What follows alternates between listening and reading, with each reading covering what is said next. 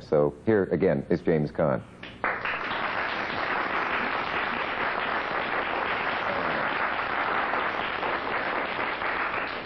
You were talking inter interestingly about acting uh, the last time. That's strange. And uh, I, I don't know what, what it is I really need to really want to know about that. Or how, some actors can't say anything about it and shouldn't have to. As you say, analysis can be deadly. But uh, I heard or read that when you played one film of yours, I forget which one it was, you found that what you saw on the screen afterwards was was scary to you. Oh. It didn't seem to be your eyes that you were frightening. That you were. You said that guy is Yeah. dangerous. Yeah. What goes into that kind of thing? Unconsciousness, I think. Or vodka. no, I don't. I don't drink really. Did you all hear that, boys and girls? No, I don't. I don't. I don't. I don't. I don't drink. But it was. Uh, you know what happens is that, uh, like I- said last time, this osmosis.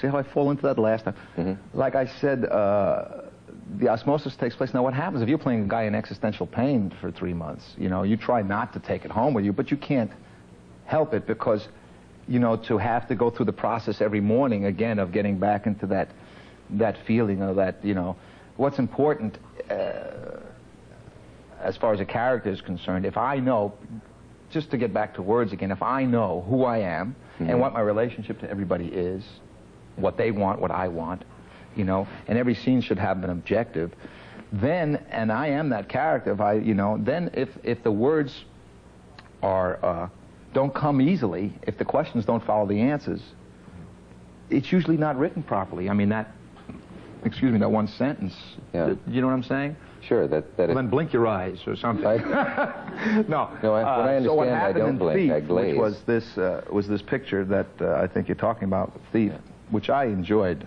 uh, a lot. I mean, I, I like the picture. One out of 31 isn't bad. Uh, I, uh, I became, I mean, I became, there was something maniacal about me, you know? I mean, it was a guy who was just obsessed with, with getting things done in a short period of time because he had his time taken away from him. He had spent 11 years in jail for stealing $40, you know?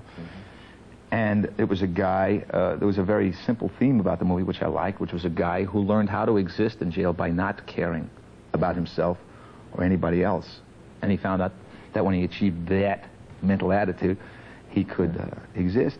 And then in the middle form, uh, the middle, the ABA form, the B form, the middle of the picture, all of a sudden he, he finds himself caring about something. He has a child, a wife, and, and because of that, he becomes susceptible to this outside force that is evil. And so to deal with that, he must again return to nature, as Rousseau said, uh, and void himself of all these things he cared about and become this Gee. maniac again. And uh, I think the time spent on the picture, and then I was in a trailer all the time. You know, I had all these big uh, policemen with me, you know, all the time, and I was like in this trailer for 10 hours a day, just like I felt like, you know, they would throw raw meat in through the window. You know, I was pacing in there.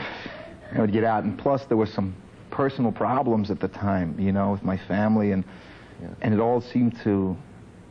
But you know what happens is strange. It's it seems almost like. Uh, I, I, I don't know. It seems almost evil to use, when I think about it, things that happen in your life. If you're playing a certain kind of a guy, they seem to, you pick out those things and they become monstrous events because they help, they help you playing that, that character on that particular day. You know what I mean? Something that would yeah, but- normally maybe not bother you all of a sudden becomes life or death. You know, and uh, there was a lot of that, you know, going on. Does that mean, though, that if your personal life hadn't been going, had been going Something else smoothly at that time, you wouldn't have been as good in the movie Maybe. Thief, or would you have had to? Maybe. Get, it's possible. I lost, yes. I Hmm. lost about 12 to 15 pounds Yeah. and a few brain cells.